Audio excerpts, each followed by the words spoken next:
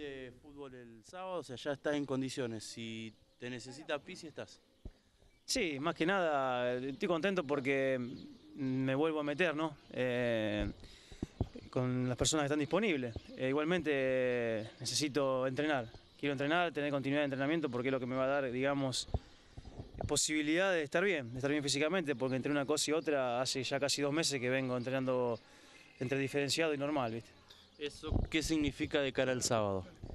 Nada, nada. Mirá, la, la idea mía es tratar de ganar entrenamiento, como te dije antes, y estar tranquilo. Hace un mes cuando te tocó volver, empezaste un partido eh, en el banco, ¿es la idea por ahí ir de a poquito? No sé, es lo que te dije antes. Yo estoy bien, yo entrené normal, hace ya cuatro días estoy entrenando normal.